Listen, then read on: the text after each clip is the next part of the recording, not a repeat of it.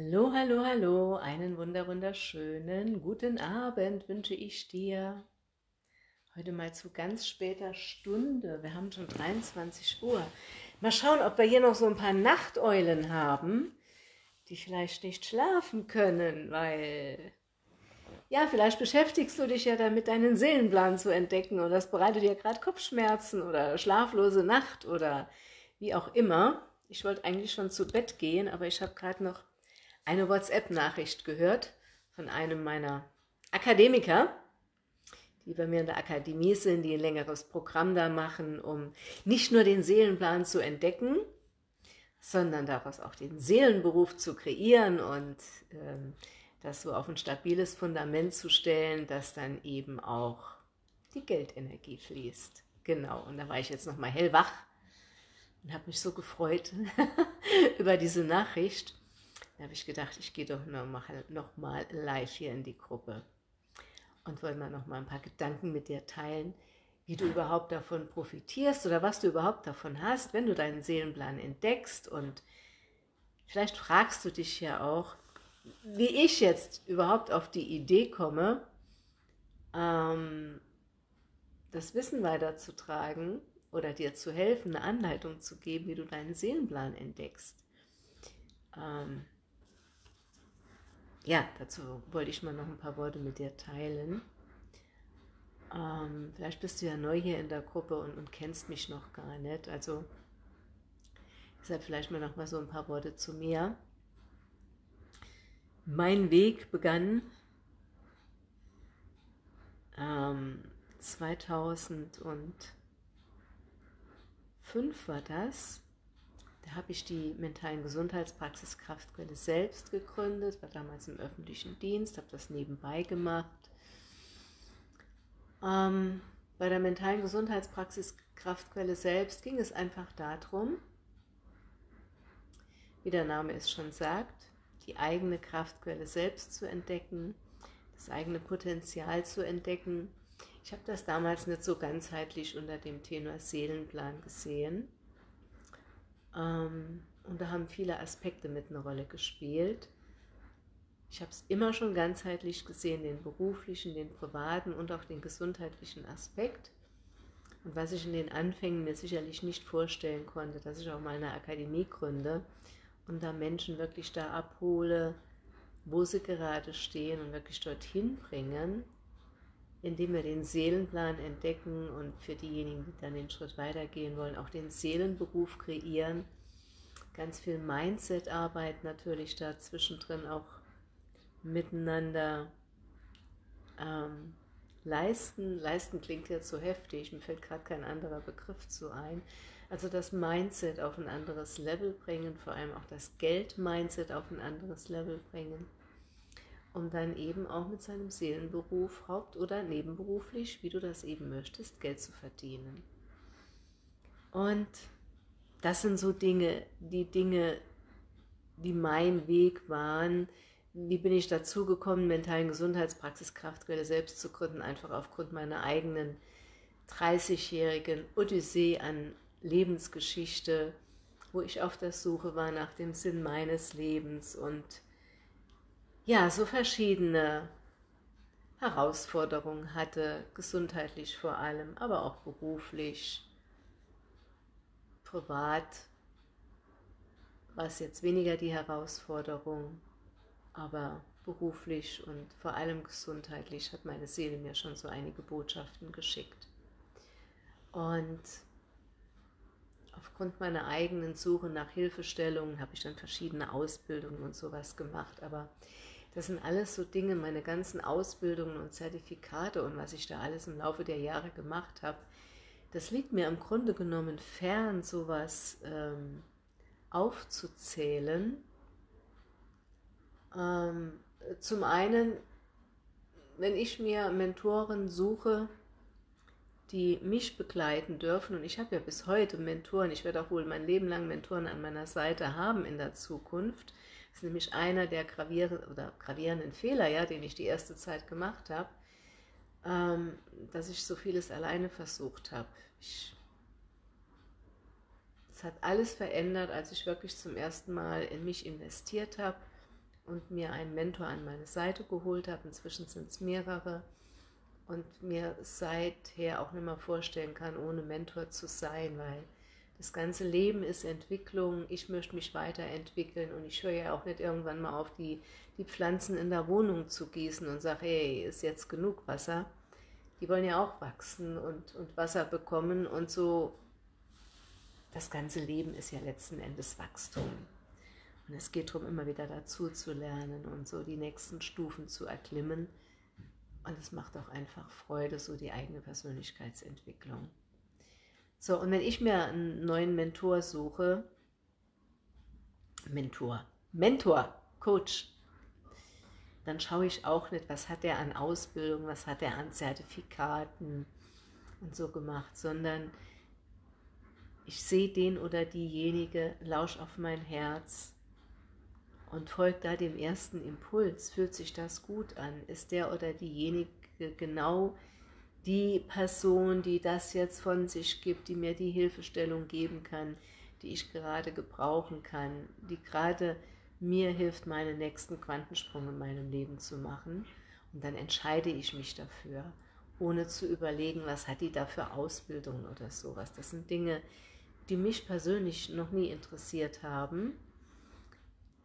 Mir ist es wichtig, dass mein Gegenüber weiß, wovon es spricht und das ist viel, viel hilfreicher als zu wissen, wie viele Zertifikate und Ausbildung der oder diejenige hat, weil das sind Dinge, die aus der Theorie stammen. Ja? Wir brauchen keine Ausbildungen und Zertifikate, um, um anderen Menschen helfen zu können, sondern wir müssen im Grunde genommen wissen, wovon wir reden. Und das ist so der Grund, warum es mir persönlich auch fernliegt, da so eine ganze Latte von meinen ganzen Ausbildungen und Fortbildungen da irgendwo zu posten oder so. Das wirst du auch auf meiner Homepage nirgendwo finden. Es hat alles aufgrund meiner eigenen Lebensgeschichte angefangen. Ich werde mich immer weiterbilden, werde mich immer fortbilden. Und wenn wir beide zusammenarbeiten, sei es jetzt im Seelen- Plan Mastermind-Programm, also diese vier Wochen Begleitung, die jetzt einmalig am Samstag, 2. November beginnt und vier Wochen dauert. Ziel ist, dass jeder Teilnehmer am 30. November seinen Seelenplan in der Tasche hat, schriftlich fixiert. Und Auch in der Akademie, egal was, bei meiner ganzen Hilfestellung, wirst du von mir nie Dinge bekommen, die ich nicht selber praktiziere, die mir geholfen haben, die mich weitergebracht haben. Also bei mir gibt es nichts aus der Theorie, sondern alles aus der Praxis. Und zwar nur die Dinge, die mich einfach weitergebracht haben. Okay? Das dazu. Und Warum ist es jetzt eigentlich so wichtig? Wie sehr kannst du profitieren, wenn du denn überhaupt mal weißt, was dein Seelenplan ist? Wenn wir so, vielleicht bist du ja gerade in der Situation, dass du spürst, das, was du jetzt beruflich machst, ist nicht, nicht mehr so ganz dein Ding. Und dann gehen wir hin und schauen mal, das ist so das, das Übliche, was könnte mir Freude machen? Vielleicht hast du mal eine Massageausbildung gemacht oder irgendwie eine Yoga-Ausbildung oder ja, in sonst irgendeinem Bereich irgendwie ein Zertifikat gemacht oder interessierst dich für Ernährung, hast Ernährungscoach nebenbei gemacht oder sowas. Dass Ernährung vielleicht dein Faible ist. Und dann gehen wir hin und überlegen, hm, wie könnte ich da nebenbei mir noch was aufbauen? Wie könnte ich nebenbei, nebenberuflich einfach mir noch Geld verdienen? So wie ich das ja einst auch mal gemacht habe, 2005. Das Thema ist, und ich glaube viele von euch, die hier in der Gruppe sind, weil das einfach bei mir auch so war oder ist, dass ich sehr vielseitig interessiert bin. Mein Thema ist nicht nur dir dabei zu helfen, deinen Seelenplan zu entdecken, ich interessiere mich genauso für Wildkräuter, für gesunde Ernährung, für Rohkost, für vegane Ernährung, vegetarische Ernährung, für gesundheitliche partnerschaftliche Themen, berufliche Themen, also ganze Palette, wo mein Interesse einfach gilt. Und ich liebe es, im Luxus irgendwo unterwegs zu sein. Ich liebe es aber auch, ich sage es jetzt mal ökomäßig, im Wald unterwegs zu sein und auch mal eine Nacht im Wald zu verbringen und wirklich in der freien Natur zu sein. Und bin auch jeden Tag im Wald unterwegs und mache auch so Dinge, dass ich mich mit den Bäumen unterhalte und sowas. Und das ist einfach auch oftmals so die Herausforderung, wenn man so vielseitig interessiert ist, man möchte ja nichts irgendwie auf der Strecke lassen, man möchte ja irgendwie alles integrieren. Und wenn wir dann aber hingehen und überlegen uns mit unserem süßen Köpfchen, hm, das, was ich jetzt beruflich mache, ist nicht so unbedingt das, was ich bis zu meiner Rente machen möchte, weil, weil, weil, aus unterschiedlichen Gründen. Sei es, dass mir der Job zwar noch Spaß macht, aber ich vielleicht Kollegen habe, die mir weniger Freude jeden Tag, äh, hallo liebe Irmgard, die mir weniger Freude jeden Tag äh, machen oder dass ich gemobbt werde oder keine Ahnung, der Chef gewechselt hat. Hallo liebe Evelyn, warum auch immer. Und dann überlegen wir uns, was könnten wir denn jetzt machen. Und mal Beispiel, gesunde Ernährung ist ein Thema. Man hat vielleicht da auch schon ein Zertifikat gemacht und dann überlegt man sich, okay, dann mache ich dabei da so nebenbei eine Praxis auf und helfe anderen Menschen dabei, die Ernährung zum Beispiel umzustellen. Das sind dann so Dinge, die schon vielleicht ein bisschen aus dem Herzen kommen, aber überwiegend vom Außen gesteuert sind, also vom Kopf. Und das Thema dabei ist, dass dann all die anderen Dinge, die dich wirklich ausmachen, hallo liebe Beate, die, all die anderen Dinge, die dich wirklich ausmachen, wo wirklich deine Talente und Fähigkeiten und deine Interessen liegen, was wirklich hier in dir drin ist, in deinem Herzen, in deiner Seele verborgen ist, was also deiner Mission, wirklich deiner Mission, deinem Seelenplan entspricht, das lassen wir dabei außer Acht, weil wir es nicht erkannt haben. Und dann geschehen solche Dinge, hätte ich das Wissen, was ich hier jetzt weitergebe, 2005 schon gewusst, als ich mich zum ersten Mal nebenbei selbstständig gemacht hatte, hätte das vieles, vieles erleichtert. Ich hätte vieles auf ein ganz anderes Level gleichstellen können, auf ein anderes, stabiles Fundament stellen können. Ähm, das ist das, was dann einfach außen vor ist, wenn wir vom Kopf her überlegen, was könnte ich denn jetzt statt meinem jetzigen Job oder zu meinem jetzigen Job, weil ich einfach nebenbei noch Geld verdienen möchte, was könnte ich denn da machen? Oder vielleicht bist du ja auch schon selbstständig nebenbei oder vielleicht bist du ja auch schon hauptberuflich selbstständig, aber es läuft nicht so rund. Es läuft einfach nicht so rund, so wie du dir es vorstellst. Und das hängt dann einfach damit zusammen, dass es nicht zu 100% zu dem entspricht, was wirklich hier in dir verborgen ist, was wirklich gelebt werden möchte, was ans Tageslicht möchte, was sich zeigen möchte einfach. Nenn's Seelenplan. Früher habe ich es Kraftquelle selbst genannt. Nenn's Seelenplan. Kubia heißt ja, entdecke und lebe deinen Seelenplan.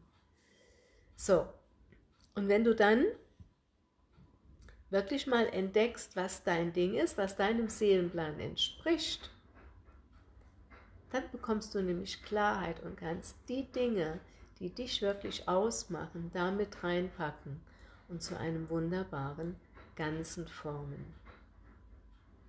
Und dann wirst du merken, wie sich das Blatt wendet, wie plötzlich dann auch Menschen auf dich zukommen manchmal auch fast wie von selbst, wo du dich wunderst, wo finden die mich jetzt hier? Natürlich darfst du dich auf eine gewisse Art und Weise zeigen und da gibt es auch Systeme, die inzwischen im jetzigen Zeitalter ganz einfach zu implementieren sind, ohne viel Technik-Schnickschnack oder so, das braucht man alles. Bis zu einer gewissen Größenordnung brauchst du überhaupt keine Technik. Ähm, früher ging ohne Homepage nichts, aber das ist, ist im Grunde genommen ähm, überhaupt nicht notwendig, erstmal mit einer Homepage zu starten, weil da ist einfach so das Thema, wie wirst du denn gefunden im Nirvana des Internets, wenn du einfach mal eine Homepage hast. Also das geht viel, viel einfacher zu integrieren. So, und nochmal einen Schritt zurück, wenn du jetzt unter diesen Aspekten hier herausgefunden hast, was dich ausmacht, was deinem Seelenplan entspricht, was wirklich deine Expertise ist. Und die hat nichts damit zu tun, dass du für diese Ex Expertise irgendwo mal eine Ausbildung gemacht hast, ein Zertifikat hast, das du an die Wand pappen kannst, sondern das ist das, was hier tief in dir drin ist. Wir sind hier nur so konditioniert, ich kann damit kein Geld verdienen, weil ich brauche noch eine Ausbildung, ich brauche noch ein Zertifikat, ich muss noch eine Anleitung dazu haben. Eine dritte Person muss mir noch das Okay geben, dass ich das überhaupt weitergeben darf und solche Dinge. Das brauchst du nicht, das brauchst du definitiv nicht. Wenn du herausgefunden hast, was hier in dir drin ist und das an andere Menschen weitergibst, das ist deine Expertise. Und das ist viel, viel wertvoller, als wenn du irgendwie dir vom Kopf her überlegst, was könnte ich machen und dann vielleicht noch Ausbildungen machst und dann zwar ein Zertifikat vorweisen kannst, aber letzten Endes überhaupt nicht wirklich weißt, wovon du redest, im überzogenen Sinne. Weil das, was dich ausmacht, wenn du hier hereingespürt hast und herausgefunden hast, was dein Ding ist, dann fließt das aus dir heraus. Dann wunderst du dich auch, was da aus dir herausfließt, wenn du dich dann erstmal zeigst und deine Wunschkunden, deine Traumkunden oder die Menschen, die deine Hilfestellung in Anspruch nehmen möchten, so nach dem Motto, was haben andere Menschen davon, dass es dich gibt, dann wunderst du dich, auf welchen Fundus du zurückgreifen kannst im Gespräch mit deinem Gegenüber, um ihm da einfach zu helfen. Und das ist das Wertvolle und das ist das, was das Ganze dreht, wenn du statt vom Kopf her dir überlegst, was du machen könntest, was du mit deinem Leben noch anstellen könntest, was dir Freude bereiten könnte, was dir wieder zu mehr Lebensfreude verhilft oder auch zu einer besseren Gesundheit. Schau mal, wenn du viel von den Dingen machst, die dir wirklich am Herzen liegen, die wirklich dein Ding sind, was hat deine Seele dann noch für einen Grund, dir Disharmonien zu schicken. Hat er keinen Grund mehr zu. Wenn du mit dir so im Klaren und im Reinen bist, das bringt alles andere auf auf ganz anderes Level. Du darfst das auch immer ganzheitlich sehen, beruflich, privat und gesundheitlich. Und das ist so der Riesenvorteil, wenn du auf die Art und Weise erstmal hier hinschaust, was entspricht deinem Seelenplan, was ist dein Ding, was hast du eigentlich hier, her mitgebracht, wie so einen unsichtbaren Rucksack, den es jetzt auszupacken gilt und zu entdecken gilt und zu leben gilt, und zwar auf eine Art und Weise, wie du das möchtest. Sei es nebenberuflich, sei es hauptberuflich. Und selbst wenn, wenn du jetzt mit mir hier in vier Wochen das Programm durchläufst und am 30. November, das ist mein Commitment an dich bzw. an diejenigen, die jetzt hier äh, am Samstag mit mir starten, selbst wenn du anschließend nur deinen Seelenplan kennst und nichts draus machst, das sind ja alles deine Entscheidungen. Wäre vielleicht ein bisschen unklug, weil ja, würde dich ja dann nicht wirklich zufriedenstellen, aber ich kann dir eins versprechen, wenn du erstmal weißt, was so in dir verborgen ist, es, es wird dir es wird in dir brennen. Du willst dein Wissen, dann deine Expertise, deinen Seelenplan auch weitertragen. Weil das ist so ein Gen, das wir in uns haben. Wir wollen doch alle helfen. Wir haben doch so ein Helfergen in uns. Vor allem als Frauen insbesondere haben wir doch so ein Helfergen in uns. Und dieses Helfergen, anderen Menschen zu helfen, oder Mutter Erde, den Tieren, den Pflanzen, was auch immer da so dein Ding ist, wofür du auch immer Präferenzen hast, dieses Helfergehen, das kannst du voll auskosten mit all deinen Fähigkeiten und Talenten, wenn du deinen Seelenplan entdeckt hast.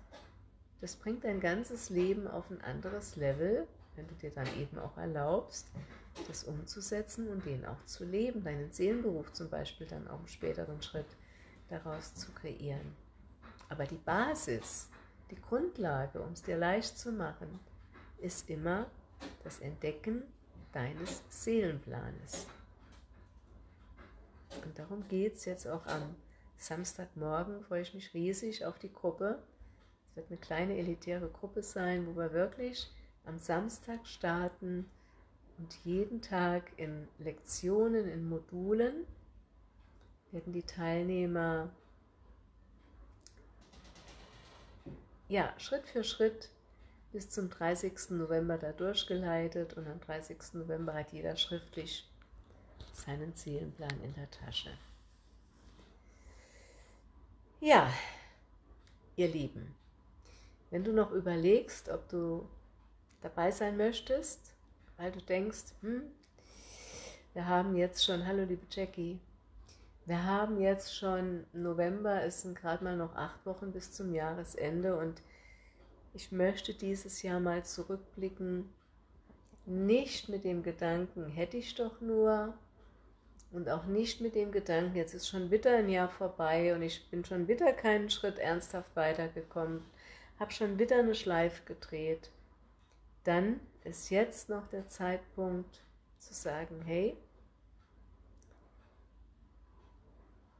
ich entdecke jetzt meinen Seelenplan, bis zum 30. November habe ich ihn und dann schaue ich, was ich daraus mache. Wenn das etwas ist, was dich jetzt anspricht, dann schreib mir eine persönliche Nachricht und dann schauen wir, wie wir uns noch in kürzester Zeit zusammenfinden, um mal noch kurz miteinander zu sprechen, dass wir auch wirklich klar haben, dass es auch für dich wirklich möglich ist. Also ich würde da dann schon gerne, ich oder jemand aus meinem Team, noch kurz ein Gespräch mit dir führen ich möchte da wirklich in dieser Runde nur die Menschen haben, die wirklich sich committen, auch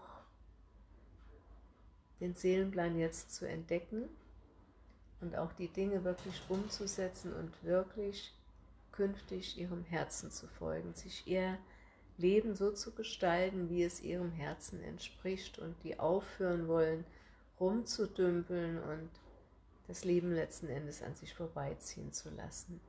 Und deshalb gibt es ein kurzes persönliches Gespräch, wo wir nochmal über alles sprechen. Aufgrund der Zeitkürze werde ich das jetzt sicher nicht mehr alleine bewältigen können morgen, sondern wird entweder ich selbst oder jemand aus meinem Team dann am Telefon sein, wo wir dann eben über die Details nochmal sprechen. Also, schreib mir eine persönliche Nachricht oder kommentiere hier im im Chat, im Kommentarfeld mit Ich bin dabei.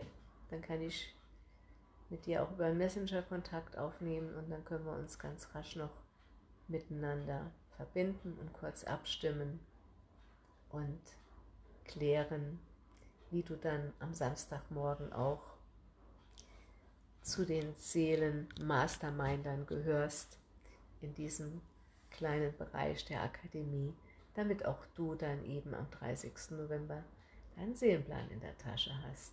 Okay? Schick dir ganz liebe Grüße, hab ein gutes Nächtle. Bis dahin. Tschüss.